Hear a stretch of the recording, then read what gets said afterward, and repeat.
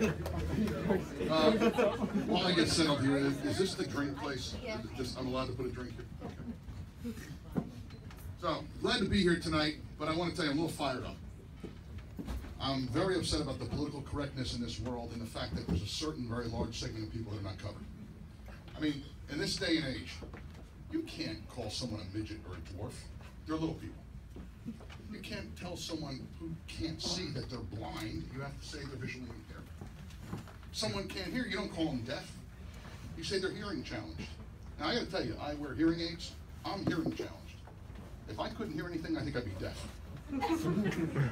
but it's just the way it is, no matter what we do in this world. There, there's even a whole acronym for gay and transgender people. I mean, for years, I thought a BLT was a delicious sandwich. now I understand it also designates an alternate sexual lifestyle. But yet, there's no protection for fat people. To, in this day, you can still call fat people fat. What is it about the corpulent that allows body shaming? I mean, I really think that, and it's not just fat. You see, there's all these clever adjectives. There's fat slob. There's fat bastard. There's fat shit. And let's not forget the most famous, the fat fuck, which I have no idea what that is. From this time forth, I would like to introduce a politically correct term. I would like to see these people be called calorically challenged or metabolically impaired. I think that would be fair. You see, political correctness has gotten to the point where you can't even talk about things that were normally just sayings.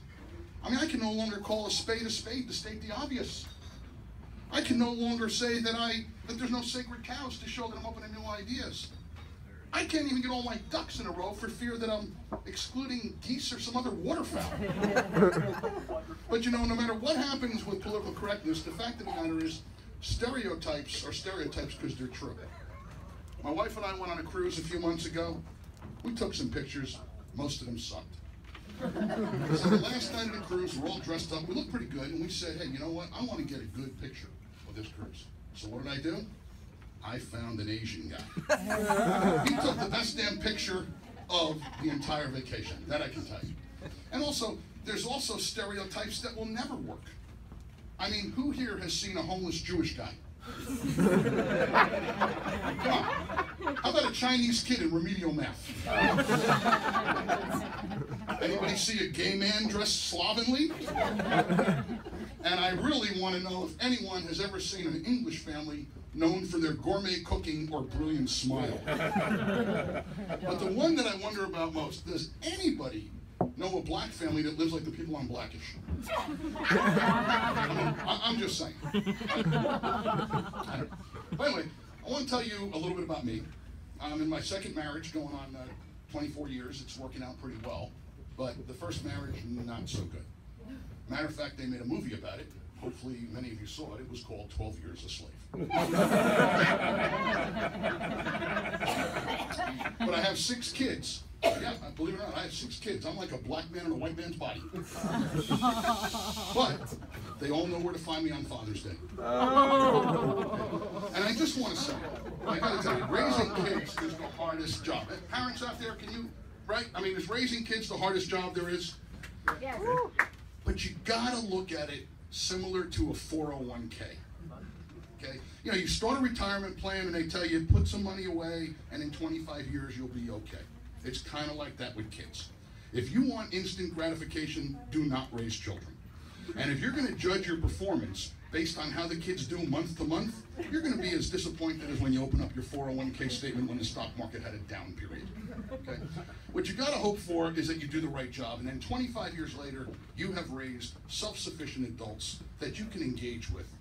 Kind of like the equivalent of your 401k, making sure you don't have to eat cat food in retirement. If you do a shitty job, chances are the kids are walking into walls, have no direction, probably living in your basement. One of them may even be in a bell tower with a high-powered rifle. And that's the equivalent of giving all your retirement money to Bernie Madoff. but you know, I'm also very concerned about the immigrant problem. And, and I don't mean politically, I'm not getting into that. I want to know how these poor people come over to this country and get a handle on our language and understand our idioms. Our words mean so many things. I mean, take the word shit. It's a noun, it's a verb, it's an adjective, it's an adverb. I mean, you've got people saying, I really need to get my shit together. Then you've got other people saying, I got to get rid of all the shit that I've got. then you got somebody saying, I got to take a shit, which is odd because isn't the overall goal to leave the little turd in the bowl? then you get somebody comes over to your house for dinner and you serve them something, they go, ugh, tastes like shit. Which I don't know about you, but I start wondering where they got the ability to make that comparison.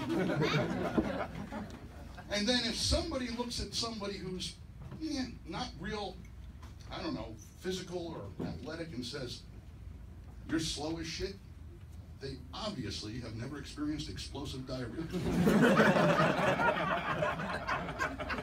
Speaking of diarrhea, are you guys in tune to the drug commercials that are on TV today? I mean, I gotta tell you, they go on for about 10 seconds telling you what benefit these cleverly named drugs can, can give you, and then spend the rest of the time telling you about all the side effects and all the drug interactions.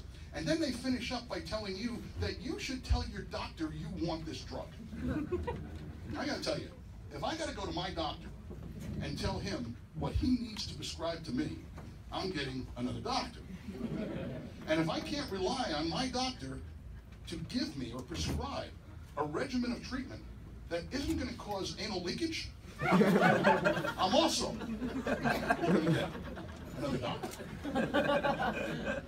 But I also I gotta ask you, do you ever wonder how did we ever name bathrooms away from the home restrooms? Seriously? Anybody ever just pop into one of those rooms and kick back, have a nap, read a book? I mean, generally speaking, when you use a restroom, you're working. Okay? Under the best conditions, there is an orderly evacuation. Under the worst conditions, you're racing your intestines to the toilet like you had bad Mexican food. so you got to think about that too. Yeah. And speaking about that kind of stuff, you ever wonder who decides to become a proctologist? See, I don't think anybody decides to become a proctologist. All these guys go to med school, they sign up, they want to be cardiologists, neurologists, or some other high-class-ologist. And about six months into the program, the professor puts his arm around them and says, you're not cutting it. I think you need to set your sights a little lower. about three feet lower. so you think about this, poor guy goes through medical school and becomes an ass doctor. And for the rest of his life, he's got to figure out the ultimate evacuation plan for all humans. And then, if his patient turns out to be an asshole, he automatically has a double whammy. Tough situation. Uh, you know, I'm going to be 62 in about a week. And uh, it's funny because we all are supposed to mature, but I have a friend, Barry, who never grew up. He's a 62 year old teenager and he's out of his mind. But he is fun. So he says to me, Come on, let's go out. We're going to go to the bar. We're going to have a good time. So we get into the bar and he says, Watch this, which generally means something very funny or very disgusting is going to happen. he tells the bartender that he wants to entertain the entire bar so that we can have drinks. Bartender says, What do you do? He says, Well, I have quite the talent. I can fart the Star Spangled Banner. Bartender's intrigued. Plus, there's no band that night. So he says to Barry, Okay, you got a deal. He goes and gongs the gong behind the bar and tells everybody, Hey, we got this guy, Barry. Bring your attention to the stage. Barry's going to fart the Star Spangled Banner. Everyone's a little bit apprehensive, also curious. Barry gets up on the stage, takes a bow, turns around, unbuckles his pants, drops his pants, drops his underwear, and proceeds to shit all over. People are horrified, screaming, women are passing out. Disgusting. Barry, the wise guy that he is, turns around over his shoulder, looks back at the crowd, and he says, Hey, relax even Frank Sinatra gets a chance to clear his throat. That's my time.